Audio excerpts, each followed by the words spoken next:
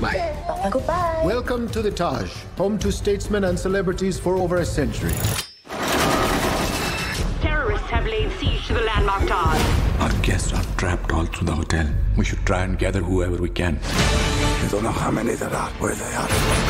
You have a family. Yes. I hope to stay alive and see them. No one's coming for us. We take our chances. We'll get through this, we must stick together.